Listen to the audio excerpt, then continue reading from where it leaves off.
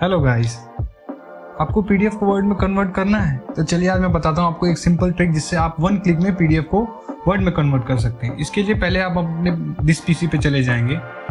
Dish PC पे जाने के बाद हम अपने फ़ाइल को ढूंढेंगे। जिस फ़ाइल को आपको कन्वर्ट करना है वो फ़ाइल सिलेक्ट करेंगे। मैंने जैसे अपनी फ़ाइल सिलेक्ट की, मैं इस पर राइट क्लिक कर रहा हूँ। राइट क्लिक करने के बाद मैं ओपन विथ में क्लिक करूँगा। ओपन विथ में क्लिक करने के बाद मुझे बहुत सारे ऑप्शन आ गए।